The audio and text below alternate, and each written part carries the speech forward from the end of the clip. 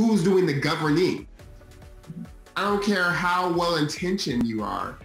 An equitable government is not a government of all white men or a government of all white people or a government of all wealthy people or a government of all people who own their home. Like an equitable government is a government where folks aren't just represented in terms of their representative, but folks actually, there's as many perspectives are at the table in positions of authority to actually decide.